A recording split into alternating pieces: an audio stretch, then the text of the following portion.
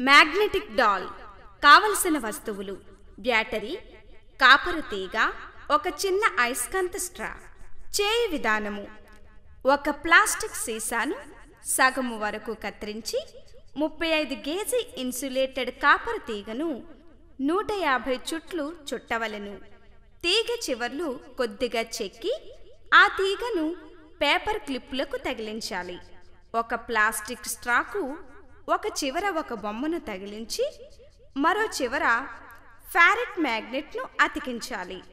ఒక పొడుగాటి సూదిని తీసుకుని ప్లాస్టిక్ బాటిల్ రెండు రంధ్రాలు చేసి ఆ రంధ్రాల నుండి స్ట్రా ద్వారా గుచ్చినట్లయితే అది రెండు వ్యతిరేక పాలిస్గా పనిచేయును. స్ట్రా సమతలంగా ఉండవలెను. ఒక క్లిప్పును బ్యాటరీ వెనుకనున్న బటన్కు రెండవ క్లిప్పుతో సర్క్యూట్ను పూర్తి చేయవలెను. ఎప్పుడైతే విద్యుత్తు కాపర్ తీగ ద్వారా ప్రయాణం చేస్తుందో అది విద్యుత్ అయస్కాంతంగా మారి ఫ్యారెట్ మ్యాగ్నెట్ను ఆకర్షిస్తుంది. మనం సర్క్యూట్ను తెరుస్తూ మూస్తూ ఉంటే బొమ్మ కుడి ఎడమలకు నాట్యం చేస్తున్నట్లుంటుంది. నాట్యం చేస్తున్నట్లుంటుంది.